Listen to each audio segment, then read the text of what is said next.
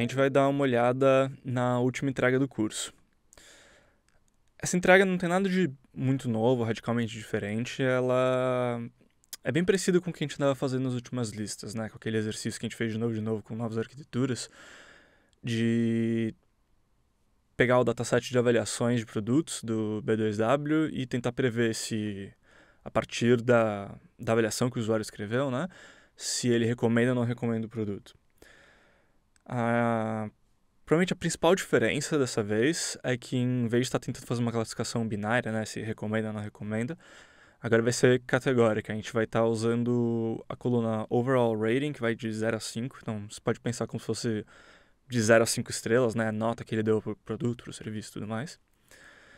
E a gente vai estar tentando prever agora essa categoria, em qual, né, qual categoria o usuário avaliou o produto a partir da avaliação que ele escreveu. Uh, beleza. Aqui tem o enunciado né, no PDF que a gente vai disponibilizar para vocês. Depois vocês podem ler com mais calma. Uh, a gente parte aqui um pouco da motivação, aí faz uma recapitulação aqui com um pouco dos preliminares. E. Bom, para processamento dos dados não tem nada de muito diferente do que a gente tinha feito antes, né? É, filtrar qualquer valor muito esquisito que tem ali, valores faltando, valores não numéricos numa coluna numérica, o de sempre.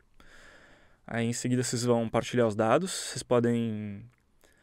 É, o que a gente está sugerindo aqui é partilhar em treinamento, teste 75, 25%, mas vocês podem partilhar como vocês quiserem, vocês podem inclusive incluir ali um set de validação, se tiverem interesse. E quanto ao embedding, a codificação né, da, da avaliação, é, vocês podem usar qualquer uma das ferramentas e embeddings que a gente apresentou para vocês ao longo do curso, né? Então, vocês podem usar o Word2Vec, pode usar o Word2Vec que vocês treinaram, pode usar o, o, algum dos pacotes do Nuke, que nem a gente usou em uma das listas passadas. Ou podem definir sua própria camada de embedding e treinar junto do modelo, né? Isso fica a cargo de vocês. É... Uma outra característica importante desse exercício, né?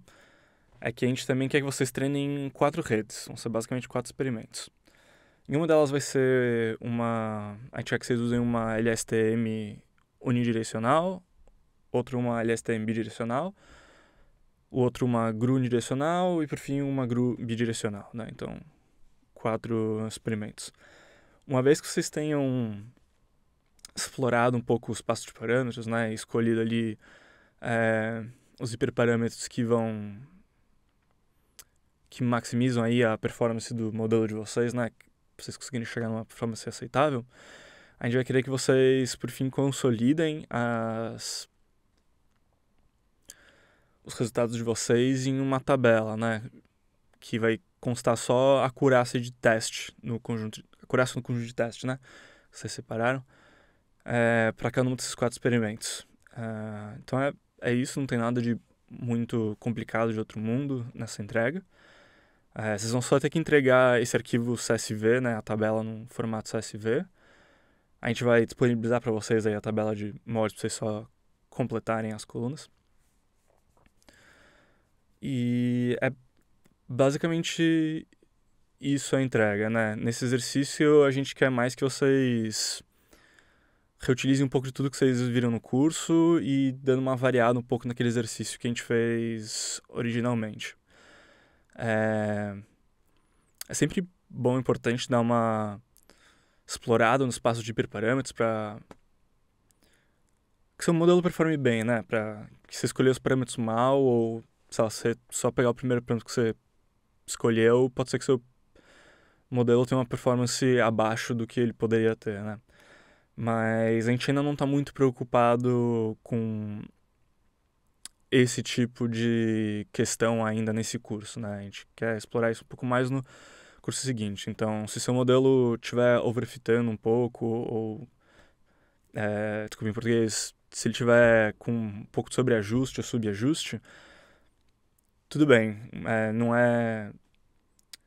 Não é o nosso objetivo nessa entrega, é importante sempre, né? Ter um pouco de atenção nisso. No mundo real, nunca vai ter de, ah, não, tudo bem, tá, tá sobreajustando e não importa, não, sempre vai importar, né? Mas aqui isso não é isso não é o foco do exercício. A gente quer mais que vocês realizem essa entrega para consolidar novamente o que vocês aprenderam ao longo do curso e poderem entregar para a gente essa tabela com a comparação entre os diferentes modelos que vocês treinaram.